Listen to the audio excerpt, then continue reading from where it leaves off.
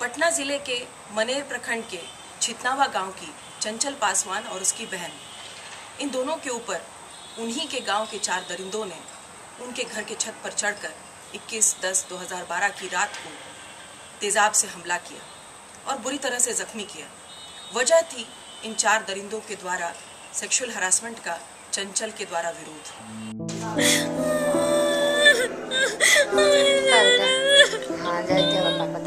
बना।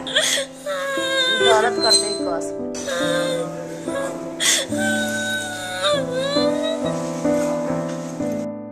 एसिड हमले का अंतरिम मुआवजा।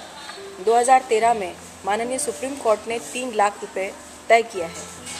उसके पहले अलग अलग राज्यों में एसिड हमलों की पीड़िताओं को बहुत ही कम मुआवजा मिलता था। जैसे कि बिहार में पच्चीस हज़ार रुपया मुआवजा तय था।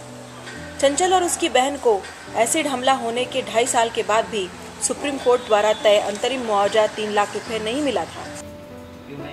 अंतरिम मुआवजे की पूरी राशि मिल सके, इसके लिए मैंने अलग अलग पदाधिकारियों से मिलकर तथा प्रेस कॉन्फ्रेंस आयोजित कर दबाव बनाया। साथ ही सुप्रीम कोर्ट में पीआईएल दाखिल की, ऑनलाइन पिटीशन कर हज़ारों लोगों का समर्थन जुटाया। सामूहिक प्रयास के कारण राज्य सरकार पर दबाव बना और 26 आठ 2015 को राज्य सरकार के द्वारा चंचल और उसकी बहन को तीन तीन लाख रुपए का ड्राफ्ट दिया गया। एक सरकार से एक कोर्ट से तीन तीन लाख रुपया मिलने वाला था मुआवजा कंपनसेशन वो आज हमें दो दो लाख दोनों बहन को प्राप्त हो चुका है और एक लाख दो महीने पहले हो चुका था। इसी कारण हमारे चेहरे पे आज खुशी है। ये आज कॉम्पनसेशन जो मिला है वो सरकार पर दबाव कैसे बना?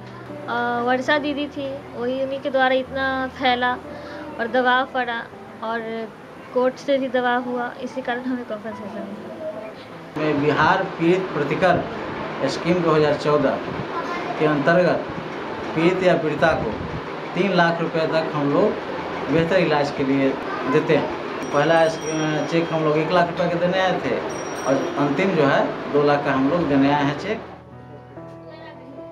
अ, हमें नहीं लगता कि कंपनसेशन हमारे लिए काफ़ी है क्योंकि हम दोनों बहन हैं।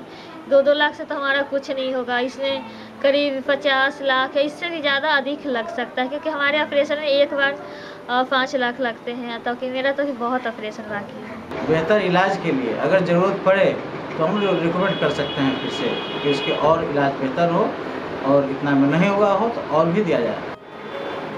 Video volunteers change dot org और परिवर्तन केंद्र की वेबसाइट्स पर भी लगातार मैंने अभियान चलाया है। इसी सामूहिक प्रयास का नतीजा था, चंचल और उसकी बहन को माननीय सुप्रीम कोर्ट के द्वारा तय मुआवजा राशि मिल चुका है।